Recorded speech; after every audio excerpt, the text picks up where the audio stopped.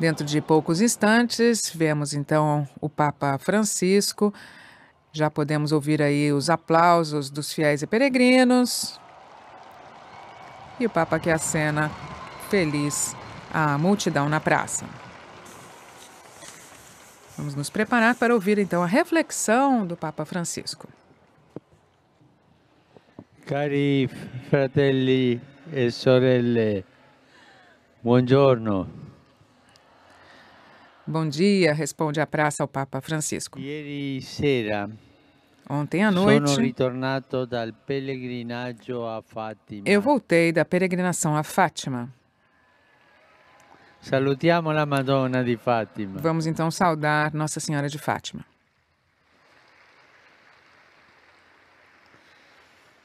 E la nostra preghiera E a mariana nossa oração mariana de hoje assume un significato particolare assume um significado especial, di memoria e di profezia cheio de memória e de profecia para aqueles que olham a história com os olhos da fé. A Fatima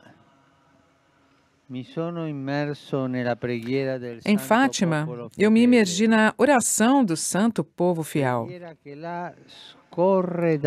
Uma oração que lá escorre há 100 anos como um rio, para implorar a proteção materna de Maria. A todo mundo. Eu dou graças ao Senhor que me concedeu ir aos pés da Virgem Maria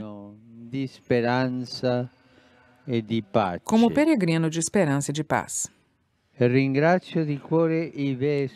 Agradeço também de coração os bispos, o bispo de Leiria, le Fátima, as autoridades do Estado, o presidente da República. e todos aqueles que ofereceram a sua colaboração. Desde o início, apparizioni sono rimasto a lungo quando in silenzio, Permaneci em silêncio na Capela das Aparições, acompanhado pelo silêncio orante de todos os peregrinos, criou-se um clima recolhido de contemplação, no qual aconteceram os vários momentos de oração. Ed No centro disso tudo estava o Senhor, E o Senhor ressuscitado, presente em meio ao seu povo, na palavra e na Eucaristia, Presente em meio a todos os doentes que são protagonistas da vida litúrgica e pastoral de. Fátima, assim como de todo o santuário mariano. Em Fátima, a Virgem escolheu o coração inocente e a simplicidade dos pequenos, Francisco, Jacinta e Lúcia, como depositários da sua mensagem.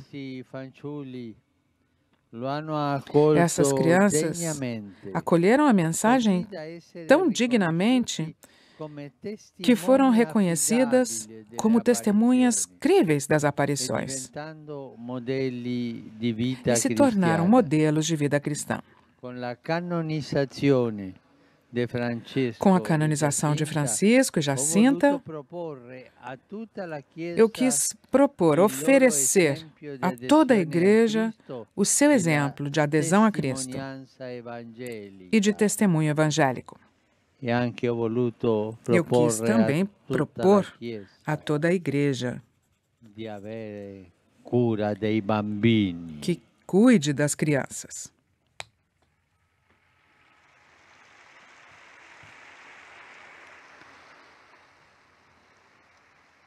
La loro santità A sua santidade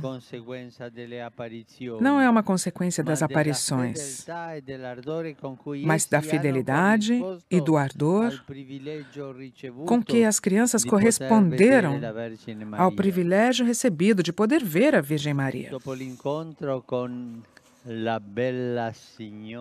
Depois do encontro com a bela senhora, assim como eles a chamavam, eles rezavam frequentemente o terço, faziam penitência e ofereciam sacrifícios para obter o fim da guerra e também pelas almas mais necessitadas da divina misericórdia.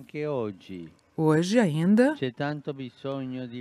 existe tanta de necessidade de oração e de penitência para implorar a graça da conversão, para implorar o fim de tantas guerras que estão em tantos lugares no mundo e que se estendem sempre mais. E assim também como o fim de tantos conflitos absurdos, grandes e familiares, que desfiguram o rosto da humanidade. Deixemos-nos guiar pela luz que vem de Fátima. Que o coração imaculado de Maria sem- seja sempre o nosso refúgio, a nossa la consolação e o caminho que nos conduz a Cristo.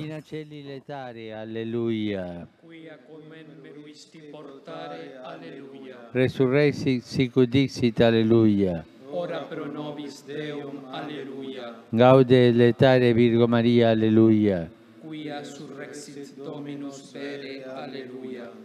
Oremus, Deus, che per resurrezione in Filii Tui Domini nostri Gesù Christi, mundum latificare dignatus est, presta quesumus ut per eius genitricem Virginem Mariam, perpetue capiamus gaudia vite, per undem Christum Dominum nostrum.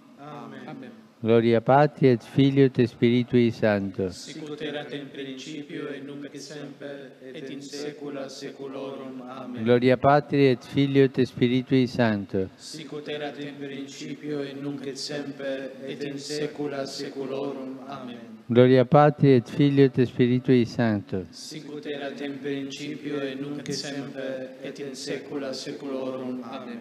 Pro fidelibus defuntis, Requiem aeternam dona eis Domine. Et lux perpetua lucia Deis. Requiescant in pace. Amen. Sit nomen Domini benedictum. Et hoc nunc et usque in saeculum. Aiutorium nostrum in nomine Domini. Qui fecit celum et terram. Benedicat vos omnipotens Deus, Pater et Filius et Spiritus Sanctus. Amen. Amen. Recebemos então a benção do Santo Padre, rezamos com ele a oração do Regina Celli, que vale recordar, nós rezaremos até Pentecostes.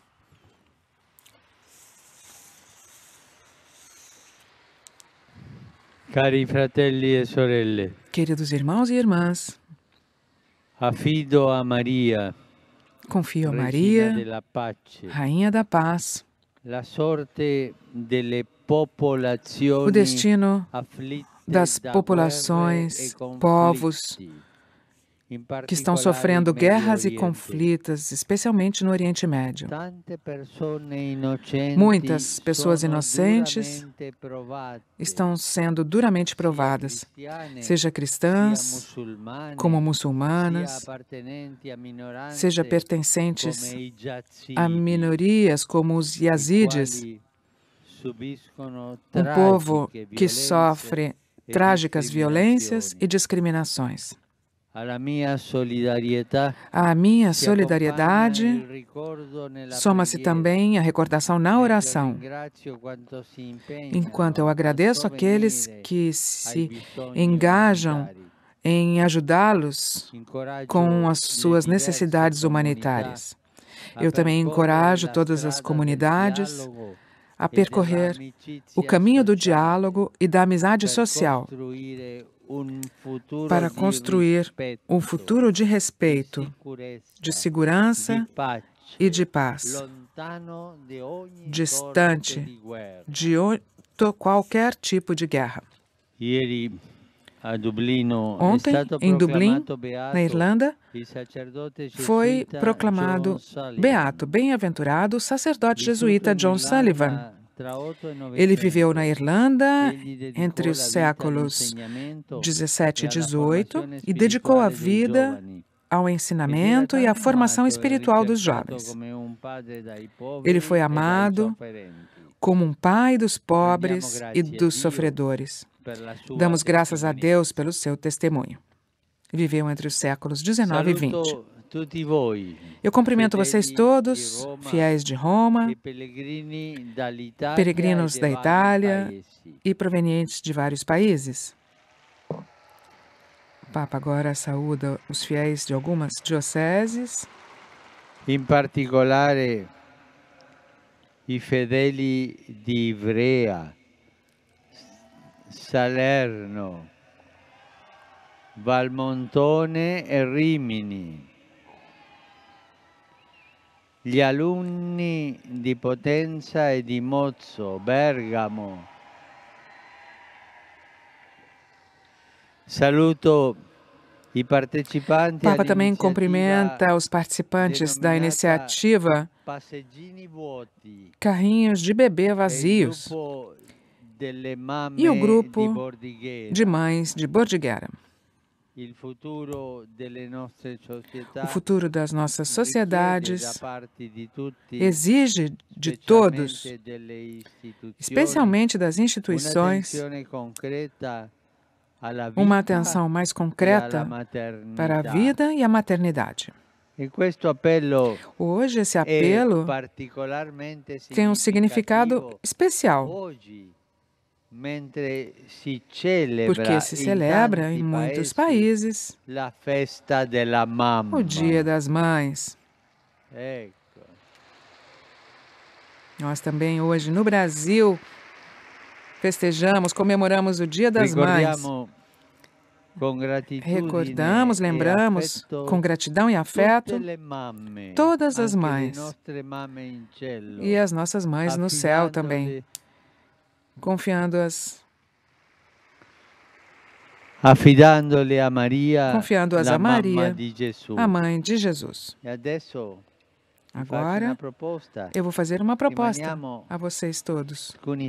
Vamos ficar alguns segundos em silêncio. Cada um reze pela sua mãe.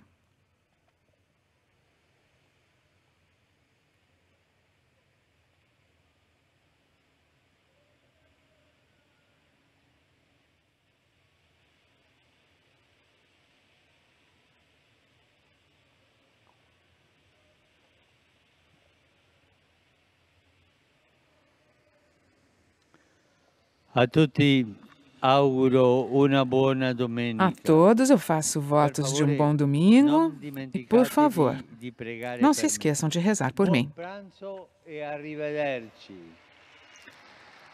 Com seu tradicional bom almoço, arrivederci, o Papa então cumprimenta e se despede aí de todos os fiéis presentes na praça